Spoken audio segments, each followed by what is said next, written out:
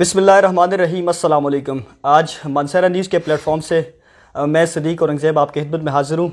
आज हमारे साथ मौजूद हैं पाकिस्तान तहरीक इंसाफ ज़िला मनसरा के सीनियर रहनुमा शाहिद रफ़ी खान और हिजाब कुरैशी साहब ज़िला कोस्तान से इनका ताल्लुक़ है। असल सर। वालेकुम अस्सलाम। बड़ी मेहरबानी शुक्रिया। आपका बहुत शुक्रिया सर। आपने वक्त दिया।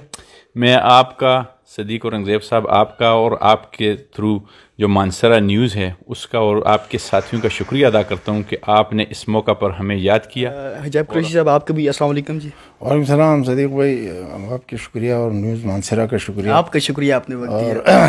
आप आपकी टीम का शुक्रिया।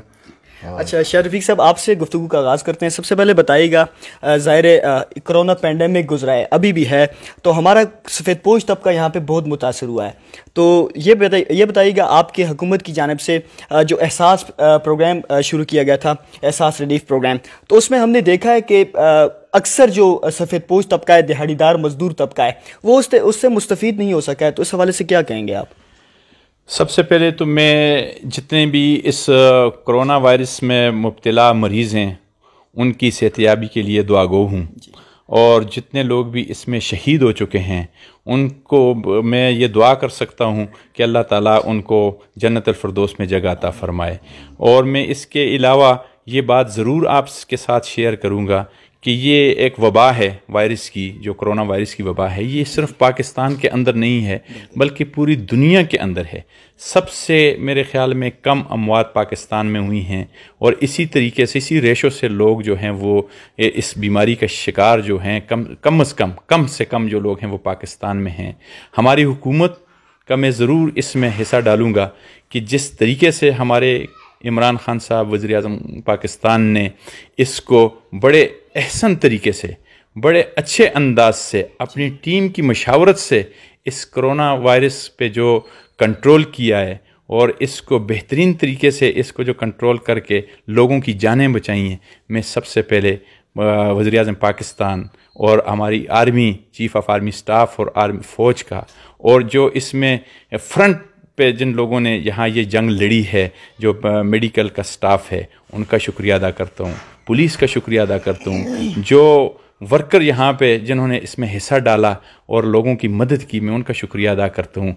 आपकी मानसरा न्यूज़ की इस चैनल के थ्रू मैं इन सब का मशहूर हूँ, शुक्रगुजार हूँ। इमरान खान को अल्लाह ताला हिम्मत दे, हमारे इस मुल्क में इस किस्म की शफाफियत पैदा करे, इस किस्म का मेरिट पैदा करे, जिसकी उन्होंने, जिस जो उनका मंशूर था, जो उनकी आवाज़ थी, जिसकी वजह से वो पाकिस्तान तहरीक इंसाफ के कायद थे और पाकिस्तान के वज़ी अजम बने, लोगों की उम्मीद है इन और हमारी ये उम्मीद इन पूरी होगी इमरान खान की वजह से इन सर, कुछ ज़िला मानसरा की सियासत के हवाले से कुछ बात कर लेते हैं। चूँकि आजकल गहमा गहमी चल रही है, रीजनल लेवल पे जो है जो काबीना थी वो तो मुकम्मल कर ली गई है।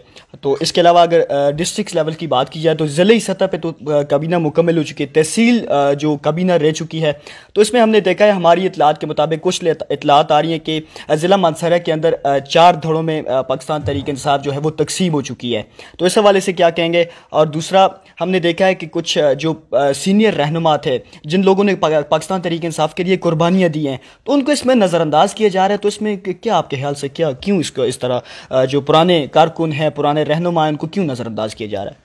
बड़ी मेहरबानी शुक्रिया आपका बड़ा अच्छा सवाल है जी आज के हवाले से। मैं इसमें ज़रूर बात करूँगा कि सबसे पहले इमरान खान पाकिस्तान तहरीक इंसाफ है। जी जी। और पाकिस्तान तहरीक इंसाफ के अंदर जो उस उन उसके करीबी मशावरत वाले लोग हैं। ठीक है। वो जो फैसला करते हैं और उस फैसले को हमें मानना चाहिए। हम पाकिस्तान तहरीक इंसाफ उस वक्त हैं कि जब हम पाकिस्तान तहरीक इंसाफ के फैसलों को माने।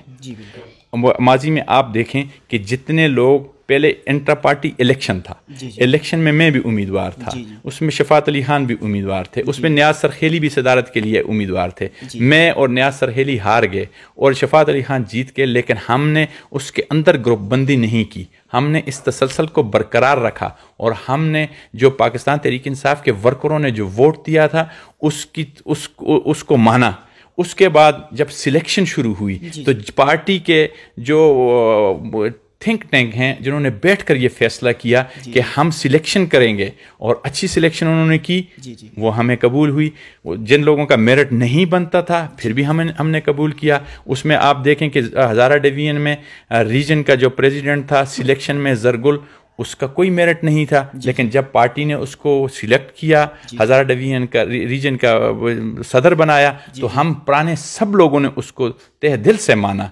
उसके बाद जब बाबर सलीम साहब थे उसको सदर बनाया मैं उसके साथ जनरल सेक्रेटरी था तो हम सब लोगों ने उसको माना। अब जो शहजादा गस्तासफ खान ज़िला मानसरा के सदर बने हैं। हमारे लिए काबिल कदर हैं काबिल एहतराम हैं। पार्टी ने जो फैसला किया है जो वहाँ पे इस्लामाबाद के अंदर थिंक टैंक बैठे हुए हैं पाकिस्तान तहरीक इंसाफ के लिए जिन्होंने अपनी कुर्बानियाँ दी हुई हैं स्पेशली आज़म खान सवाती साहब का मैं नाम ज़रूर लूँगा कि पाकिस्तान तहरीक इंसाफ के अंदर उनकी बहुत बड़ी कुर्बानी है।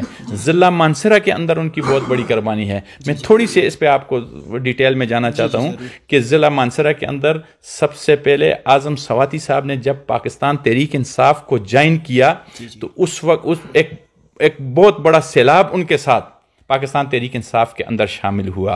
उसी के अंदर उन्होंने अजमल सवाती को शामिल किया उसी के अंदर उन्होंने साजिद मुमताज़ को शामिल किया उसी के अंदर उन्होंने शफात अली खान को शामिल किया उसी के अंदर उन्होंने नवाबजादा सलाहुद्दीन को शामिल किया उसी के अंदर उन्होंने बाबर सलीम खान को शामिल किया। बहुत बड़े आज अहमद शाह आप देखें Syed Ahmad Ali Shah M P A बने वो उन, उनको तहरीक इंसाफ में आज़म सवाती लेकर आए। तो ये उनकी स्ट्रगल है उनकी मेहनत है उनके सर ये सारा सहरा है कि पाकिस्तान तहरीक इंसाफ ज़िला मानसरा के अंदर उन उन्होंने मज़बूत तरीन जमात बनाई। जी जी। मैं मानता हूँ कि इमरान खान की मंशूर के पीछे लोग आते हैं और इमरान खान को लोग मानते हैं।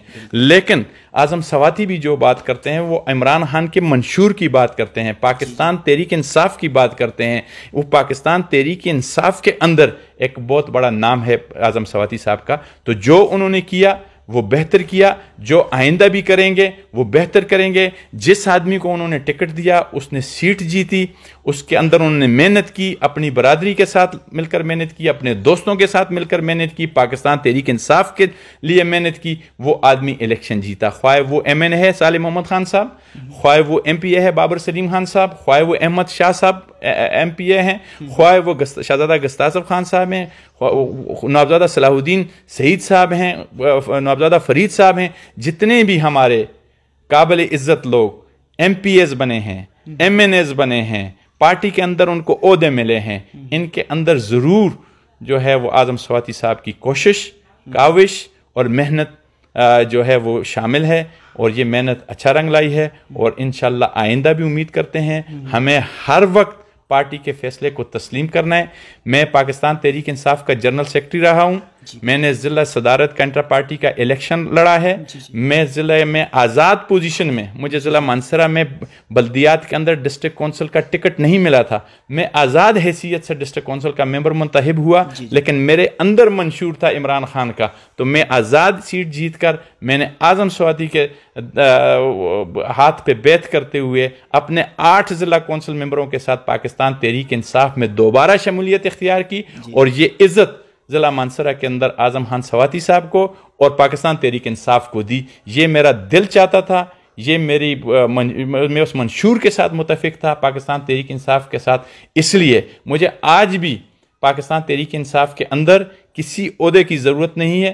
मैं बहसीत वर्कर अगर मुझे पाकिस्तान तहरीक इंसाफ जो भी डिफ्टी देगी जो भी काम करने की हिदायत करेगी इन मैंने पहले भी अपने बढ़ चढ़ कर हिस्सा लिया है और आज भी मैं बढ़ चढ़ कर हिस्सा लूँगा। पाकिस्तान तहरीक इंसाफ के अंदर इख्तलाफ राय ज़रूर है लेकिन कोई ऐसा इख्तलाफ नहीं है हम सब लोग एक पेज पे हैं। जी जी। हम सब लोग आज़म सवाती साहब के साथ हैं। हम सब लोग बाबर सलीम साहब के साथ हैं। हम सब लोग सालिम मोहम्मद साहब के साथ हैं। अहमद शाह साहब के साथ हैं। नवाबजादा सलाउद्दीन साहब के साथ हैं। तमाम वर्कर इकट्ठे हैं। इख्तलाफ राय ज़रूर रखते हैं। लेकिन ये सब हमारे लिए काबिल कदर और हमारे लिए इज़्ज़त हैं। हम सब इमरान खान के सपाही हैं और इमरान खान के मंशूर के साथ इन मुतफ़िक हैं। होंगे और रहेंगे ये हमारे आने वाली नस्लों की मुस्तकबिल का सवाल है।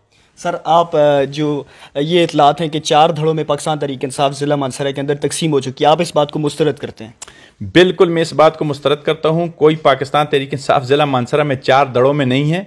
मैं आपके सामने बैठा हुआ हूँ अपोजिशन लीडर भी रहा हूँ डिस्ट्रिक्ट कौंसिल का मेंबर भी रहा हूँ जनरल सेक्रेटरी भी रहा हूँ। आज मैं आपके साथ हूँ जिस तरीके का फैसला पाकिस्तान तरीके इंसाफ करेगी हमें वो बिल्कुल मंजूर है और इस इसको हम मानने के लिए तैयार हैं। हमारी पूरी ज़िला मानसरा की टीम इसको मानेगी इंशाल्लाह। सिलेक्शन हो रही है। जी जी। आ, विंग के अंदर भी हो रही है वुमेन विंग के अंदर भी हुई है। और जो हमारी यूथ के अंदर भी हुई है। जितनी भी हमारी विंग बनी है इनशाला वो हमारे लिए सब काबिल एहतराम है और हम सबको मानते हैं कोई दड़ाबाजी नहीं है कोई ग्रुपबंदी नहीं है इनशाला जो लोग जो हमारे भाई थोड़े नाराज़ हैं जिन, उन इनशाला उनकी भी एडजस्टमेंट होगी और वो भी अपनी अपनी जगह इनशाला पाकिस्तान तहरीक इंसाफ के लिए, इमरान खान के लिए, इस मुल्क पाकिस्तान के लिए, अपने नौजवानों के मुस्तबिल के लिए इनशाला बढ़ चढ़ कर हिस्सा लेंगे इनशाला अच्छा सर, मैं यहाँ पर ज़रूर बात करूँगा। जिस तरह आपने कहा कि पार्टी का जो फैसला होता है, तमाम तर जो कारकुन है, रहनुमा है, उनको उसको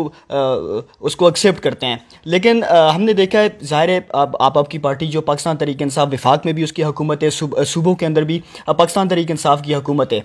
तो जब इस तरह जो पुराने लोग हैं, पुराने जो रहनुमा है पाकिस्तान तरीके इंसाफ के, पुराने जो कारकुन हैं, उनको नहीं नवाजा जा रहा। और जो नए लोग आ रहे हैं, उनको अक्सर हमने देखा है कि तमाम तरह उन्हें वजारतें भी दी जा रही हैं, उन्हें अगर इस तरह डिस्ट्रिक्ट लेवल की अगर बात की जाए तो उन्हें नवाजा जा रहा है अहदे दिए जा रहे हैं मुख्तलि लेकिन फिर भी पुराने जो कारकुन हैं रहनुमा उनको क्यों इस तरह मतलब वो छोड़ा जा रहा है?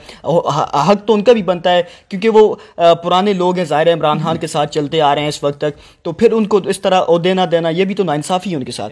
पहली एक बात तो मैं ये क्लियर कर लूँ कि अल्हम्दुलिल्लाह के पाकिस्तान तहरीक इंसाफ को कोई आदमी भी वर्कर से लेकर अहदेदार तक छोड़कर किसी और पार्टी में नहीं जाएगा।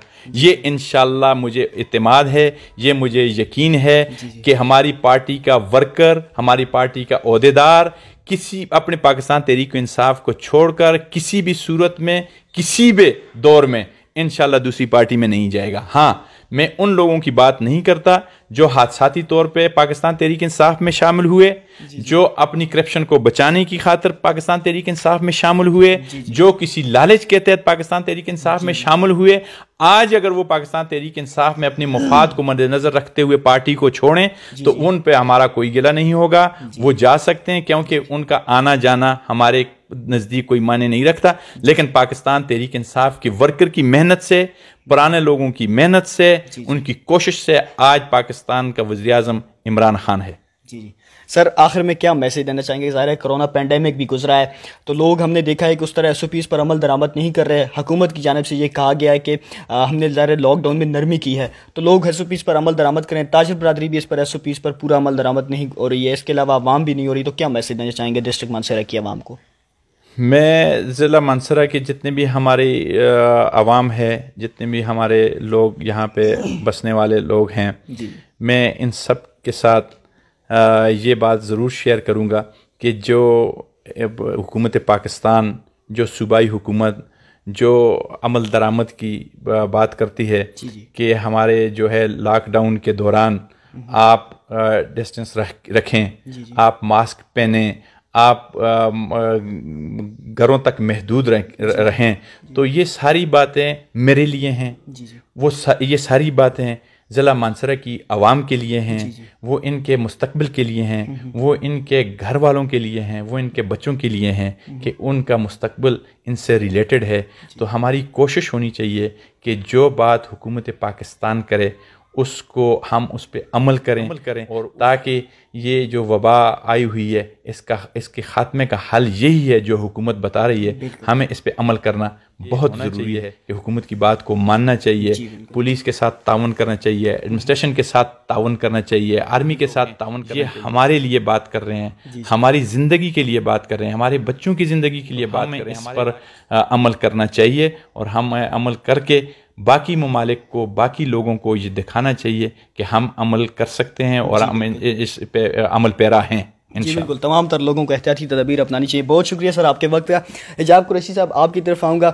ज़ाहिर आपका ताल्लुक भी ज़िला कोस्तान की को, कोस्तान से है। तो मैं ज़िला कोस्तान के हवाले से बात करूँगा। सर हमने देखा है कि ज़िला कोस्तान के जो लोग यहाँ अभी माइग्रेट हो रहे हैं या यहाँ पर रेंट पर रहने के लिए आ रहे हैं तब ज़ाहिर कुछ लोगों के कारोबार यहाँ मनसरत से जुड़े हुए हैं। तो वो लोग यहाँ पर आ रहे हैं तो हमारी एडमिनिस्ट्रेशन की तरफ़ से ये एक हमने देखा है कि हमारे सामने ये जो, जो चीज़ आई है कि लोगों की वेरिफिकेशन का एक वो कहा जा रहा है। तो एक तो ये मुश्किल उन्हें इस काम में उन्हें कुछ मुश्किल दरपेश आ रही हैं और दीगर जो आपके ज़िला कोस्तान के लोग यहाँ पे रह रहे हैं तो उन लोगों को क्या मुश्किल हैं आप क्या कहेंगे इस हवाले से? असल में ये तो वेरिफिकेशन जहाँ तक है ये अच्छी बात है। जी जी। क्योंकि किसी आदमी का आजकल हालात इस किस्म के हैं कि वो पता नहीं चलता। ये तो जी जी। लेकिन ये एक मैं इंतज़ामिया से ज़रूर गुजारिश करूँगा कि नाजायज़ तंग न किया जाए। जी जी। और दूसरी बात है यहाँ पे जो हम लोग सेटल हैं हमें तो कोई ऐसी मुश्किल नहीं हम हम्म। बराबर के पुलिस इंतजामिया आपके साथ पूरा कोऑपरेट कर नहीं नहीं पूरा कोऑपरेट कर रही है हमारे हम्म। साथ कोई मसला नहीं है। हम्म। क्योंकि मतलब है कि हमारे कोस्तानियों में ऐसे कुछ वो भी नहीं है क्रिमिनल लोग भी नहीं है। कि मतलब है कि किसी मामला में मतलब वो इन्वॉल्व हों तो हमारे साथ कोई ज़्यादा हों वो भी नहीं बहुत कम कोई एक का वो भी यहाँ के लोगों के साथ कुछ मिल जल कर कि एक केस अगर हो गया तो हो गया। बाकी मतलब है कि हम सब तो अच्छे तरीके से रह रहे हैं। और कोरोना वायरस का मसला ये है कि कोरोना वायरस पे आपने बात की ये भी मैं ऐड कर दूँ ये क्वेश्चन भी। तो ज़िला कोस्तान के अंदर जो आवाम है ताजर बरदरी है तमाम तर लोग एस ओ पीज़ को फॉलो कर रहे हैं। लॉकडाउन की जिस तरह नरमी की हुई है तो वो भी वो भी बताइएगा। ये अच्छी तरह फॉलो कर रहे हैं। एक अच्छा। पहली बात ये है कि हमारे तीन अजला हैं। जी वहाँ पे एक भी केस नहीं है कोरोना का। अच्छा। अल्लाह अल्हम्दुलिल्लाह अल्लाह के फजल से। लेकिन हमारे लोग मतलब जो हुकूमत की वो दिया हुआ तदाबीर वो उनको फॉलो कर रहे हैं। अच्छी तरीके से। और ये पूरे पाकिस्तान में पूरी दुनिया में भी फॉलो करना चाहिए। अल्लाह ताला कुरान में फरमाता है आती आती और रसूल उलिन अमर। यानी अल्लाह की मानो अल्लाह के रसूल की मानो और हुकूमत वक्त की मानो। हुकूमत वक्त जो तदाबीर दे किसी भी सिलसिले में तो वो हमें मानना मतलब है कि फ़र्ज़ है। हम मानते हैं उसको। और ये जो इकदाम हुकूमत ने उठाए हैं ये अच्छे तरीके से उठाए हैं। मैं इसकी इसको इनको अप्रिशिएट करता हूँ, इमरान खान को और उसकी टीम को। लेकिन ये एक गुजारिश ये भी साथ में करता हूँ कि जो जो किए हैं ये नाकाफ़ी हैं। हमारे पाकिस्तान के लोगों के जो हालात हैं, या मतलब है कि उनके गुर्बतें हैं, उनके मामला हैं, उसके लिए नाकाफ़ी हैं। मैं ये गुजारिश साथ में ज़रूर करूँगा कि इसको मतलब वसत दें। अगर ये लॉकडाउन या कि कोरोना और भी मतलब तवील होता जा रहा है तो इन लोगों का हालत जो दिहाड़ीदार तबका है जो गरीब तबका है पेश कर रह चुका है वो ख़त्म हो जाएगा। तो इसमें इसमें इसी कड़ी में हमारे कोस्तानी बरदरी भी आती है क्योंकि हमारे वहाँ के लोग जो हैं वो इतने मतलब है कि मालदार तबका है। हाँ तो सफ़ेद पोश तबका भी है। सफ़ेद पोश तबका जो है उस वो तो ना किसी के आगे हाथ फैला सकता है और ना मतलब है कि अपने सफ़ेद पोशी को बहाल रख सकता है। ऐसे। उस पर आ गए। तो मैं हुकूमत वक्त से ये गुजारिश करूँगा कि इसको बढ़ा दें। बाकी जो चंद एक अद शिकायत आती हैं कि हमारे साथ ज़्यादा हो गए या हमें पैसा नहीं मिला या हमारे से पैसा लिया ये एक अद केस अगर हो भी जाता है तो बाकी तकरीबन जो जो जो काम हुकूमत ने किया है वो ऐसे तरीके से हुआ है। अच्छी तरीके से हुआ है। और इसमें मैं समझता हूँ कि कोरोना का पूरे पाकिस्तान में जो हेड बनाया आज़म स्वाति को, ये इमरान खान ने कमाल किया क्योंकि वो एक ऐसा नाइस आदमी है कि वो अपनी जेब से भी, मेरा ख्याल है पत्नी कितने करोड़ों में लगाया होगा उसने। और नाइस आदमी जिसकी पाँच वक़्त का नमाजी और न मतलब है कि किसी पैसे की ज़रूरत, उसको न मतलब है कि गाड़ी की ज़रूरत, न बंगले की ज़रूरत और ना मतलब है मनिस्ट्री सिर्फ़ कौम की खिदमत के लिए कर रहा है। तो ये मतलब है कि उसके हैंडल जो काम दिया है, वो उसने अच्छी तरीके से हैंडल किया हुआ है और अच्छी तरीके से करेगा इन शजीज़ और ये मतलब है कि बहुत शुक्रिया जी आप दोनों का आपका भी शुक्रिया आपका भी शुक्रिया सर। जी हमारे साथ आज हिजाब कुरैशी साहब और शायद रफ़ी खान साहब मौजूद थे दोनों सीनियर रहनुमा पाकिस्तान तरीक इंसाफ के। इनकी गुफ्तु भी आपने सुनी है करोना वायरस की के हवाले से हिजाब कुरैशी साहब की गुफ्तु आपने सुनी है। ज़िला कोस्तान की हमने गुफ्तु की उनसे। इनका यही कहना था कि कोई केस वहाँ पर इस वक्त कोरोना का नहीं है। तो तमाम तर लोग ज़ाहिर इससे अंदाज़ा लगाया सक, लगाया जा सकता है कि एस ओ पीज़ पर पूरा पूरा अमल दरामद हो रहे हैं। इसके अलावा शायद रफ़ी खान साहब से हमने गुफ्तु की है। इनकी गुफ्तु तफसी आपने सुनी, आवाम को भी यही मैसेज दिया था तमाम तर जो लोग हैं डिस्ट्रिक्ट मानसरा के, मुल्क भर के जो हमारे लोग हैं, वो एहतियाती तदबीर पर, जिस तरह हुकूमत की जानब से एस ओ पीज़ का कहा गया है, उस पर पूरा पूरा अमल पैरा हो पूरा पूरा जो है वो उस पर अमल दरामद करें। इसके अलावा हमने कुछ सियासी हवाले से बात की है। ज़ाहिर जो तंजीमें हैं हमारी रीजनल लेवल पर तो ज़ाहिर मुकम्मल हो चुकी है। डिस्ट्रिक्ट लेवल की अगर बात की जाए तो ज़िले कबीना जो थी वो मुकम्मल हो चुकी है, लेकिन आजकल तहसील जो काबीना रह चुकी है तो गहमा गहमी चल चल रही है कुछ इतलात ये भी आ रही थी पीटीआई वर्कर्स की जानब से कि चार धड़ों में पाकिस्तान तहरीक इंसाफ जो है वो तकसीम हो चुकी है ज़िला मानसरा के अंदर। तो शायद रफ़ीक खान साहब ने ज़िला सीनियर रहनुमा ज़ाहिर पाकिस्तान तहरीक इंसाफ के तो उन्होंने इस बात को बिल्कुल मुस्तरद किया है। इनका यही कहना था कि तमाम लोग जो हैं वो तमाम, जो हमारे एम एन एज़ हैं एम पी एज़ हैं, सब लोग एक पेज पर हैं। ज़ाहिर आज़म खान साहब के साथ हैं क्योंकि वो उस वक्त विफाक में बैठे हुए हैं। तो सब लोग उनके साथ हैं। इसके अलावा फिर यही कहूँगा कि हमारी तरफ़ से भी यही मैसेज है अपने फोरम से कि तमाम तर लोग जो हैं वो एस ओ पीज़ पर पूरा पूरा अमल दरामद करें। ज़ाहिर लॉकडाउन की नरमी का हरगज़ ये मकसद नहीं होता। हम अपने हर फोरम से यही मैसेज देते आ रहे हैं कि तमाम तर लोग एस ओ पीज़ जो हुकूमत की जानब से दी गई हैं, इंतज़ामिया की जानब से दी गई हैं, उस इंतज़ामिया के साथ पूरा पूरा कॉपरेट करें, हुकूमत के साथ कॉपरेट करें। ज़ाहिर अगर इस तरह आप लोग कॉपरेट नहीं करेंगे एस ओ पीज़ पर अमल दरामद नहीं करेंगे तो हुकूमत दोबारा से लॉकडाउन करने पर मजबूर हो जाएगी। इसी ज़ाहिर लॉकडाउन से हमारा दिहाड़ीदार मजदूर तबका पेश पेश कर रह चुका है। पहले से ही अगर दोबारा इस तरह हो जाता है तो हमारा जो दिहाड़ीदार मजदूर तबका है, वो बिल्कुल ख़त्म हो जाएगा। तो इससे बेहतर है आपने, अब अपने जो एहतियाती तदाबीर है, अब वो बिल्कुल अपनाएँ, घरों से फजूल बाहर ना निकलें। अगर कोई आपका बहुत ज़रूरी काम होता है तो बाहर निकलें, पूरी एहतियाती तदाबीर के साथ। नाजरीन फिर किसी नए मौजू के साथ, किसी नई शख्सियात के साथ आपकी खिदमत में फिर हाजिर होंगे। तब तक के लिए मुझे सदीक और इंजत को इजाज़त दीजिए। अल्लाह हाफिज़।